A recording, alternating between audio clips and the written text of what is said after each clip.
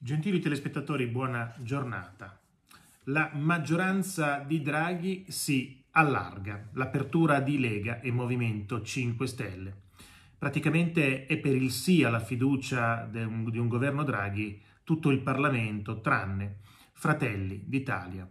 Intanto l'elettorato salviniano si è spaccato a metà tra chi elogia Salvini per aver capito che è meglio star dentro per combattere per le proprie idee che stare fuori a criticare per due anni e chi invece lo accusa di aver tradito il suo elettorato, di andare a governare con Draghi visto come il male assoluto e con gli altri partiti di sinistra.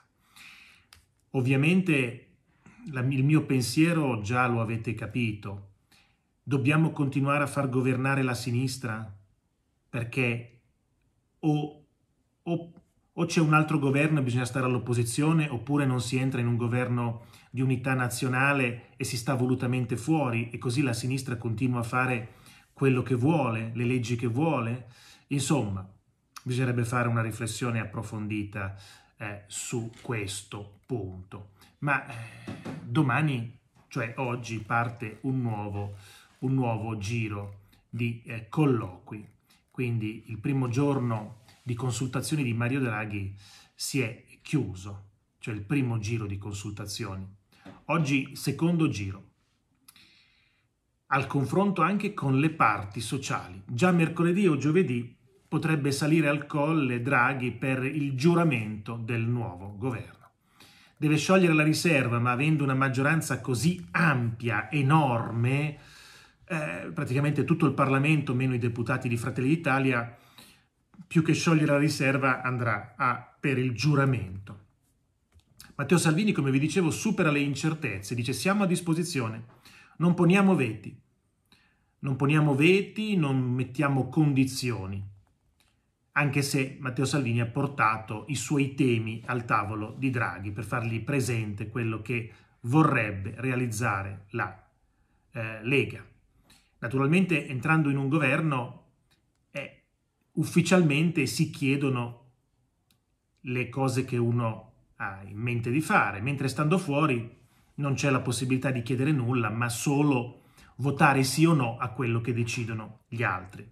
Non è la stessa cosa, non è uguale, è profondamente differente.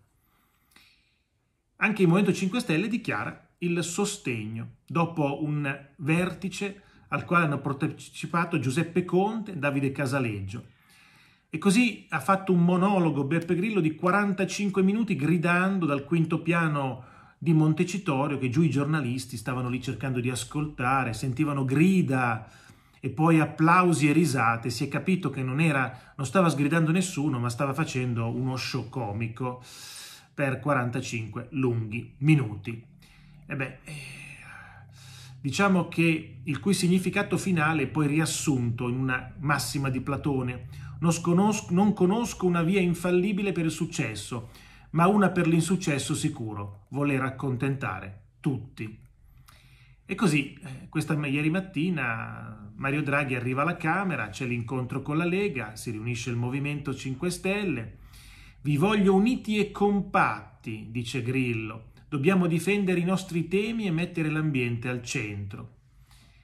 Come vi dicevo, eh, dalle finestre di questa sala Tattarella si sentiva fino giù nella strada le grida e il vocione di Grillo, che propone di creare un ministero per la transizione ecologica, introdurre meno imposte alle società benefit, dare vita al Consiglio Superiore per lo Sviluppo Sostenibile, ridurre i sussidi ambientalmente nocivi sono quattro i punti del mini documento programmatico che il fondatore 5 Stelle Grillo pubblica sul suo blog in un post dal titolo In alto i profili.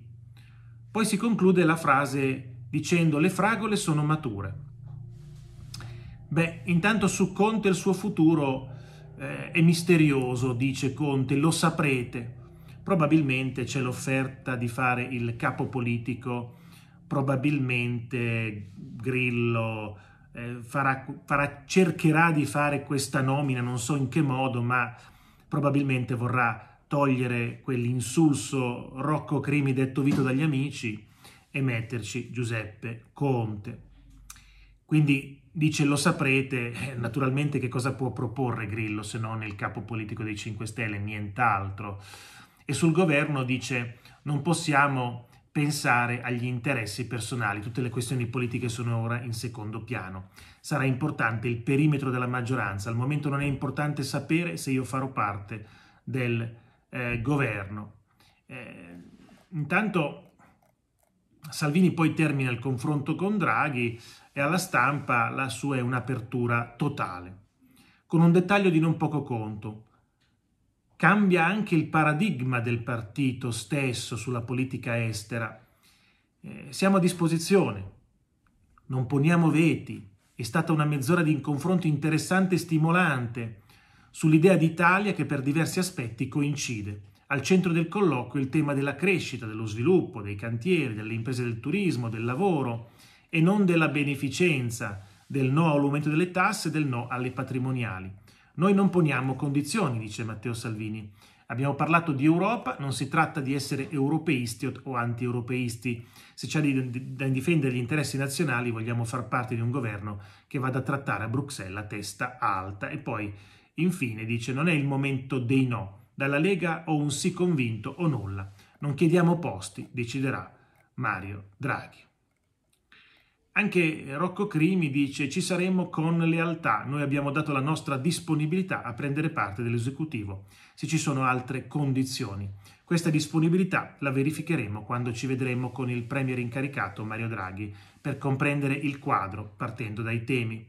Il nostro obiettivo è portare al centro i temi e poi ribadisce che serve una maggioranza politica che possa sostenere un governo, un governo solido. E poi arriva la smentita dell'imbarazzo del PD per l'ingresso della Lega al governo. Ma eh, voi sapete che loro smentiscono, quindi prima dicono cose e poi fanno altro o prima pensano una cosa e poi smentiscono.